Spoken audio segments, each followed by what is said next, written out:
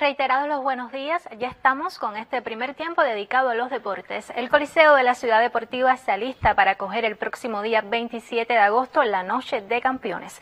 A propósito de esta importante velada, el presidente de la Federación Cubana de Boxeo, Alberto Puy de la Barca, ofreció declaraciones para este espacio. Bueno, ya estamos en la recta final.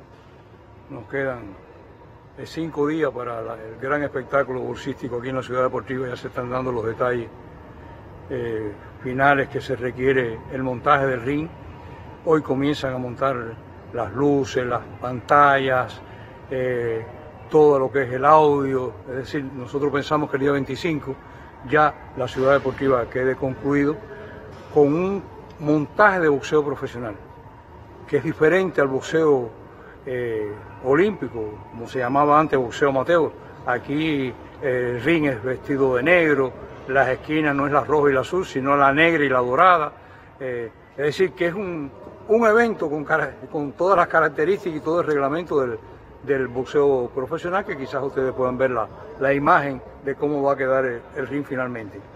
Eh, todas las medidas que se han ido tomando y, ya están en un proceso de ejecución, sobre todo el tema de la transportación para facilitar y priorizar eh, la transportación hacia la ciudad deportiva, el transporte público, antes de comenzar el evento y posterior a la culminación del evento se va a reforzar el transporte para acá, para la ciudad deportiva. Es un gran esfuerzo que va a hacer las autoridades de la capital en este sentido.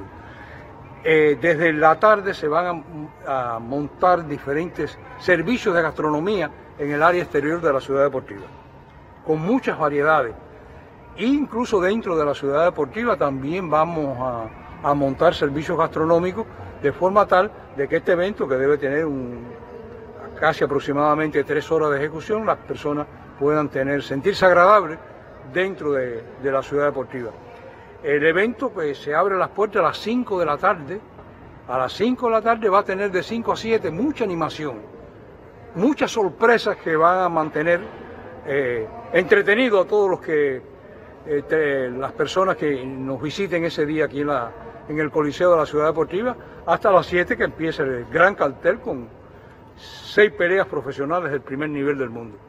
Eh, pensamos que va a ser un espectáculo muy atractivo, muy atractivo y que realmente es un reconocimiento al boxeo de Cuba y al pueblo de Cuba por la cultura que tiene boxística. Es por eso que nos dieron la sede de este gran evento que se celebra en el 50 aniversario del primer evento de boxeo que se realizó precisamente en Cuba en este escenario de competencia. Los esperamos.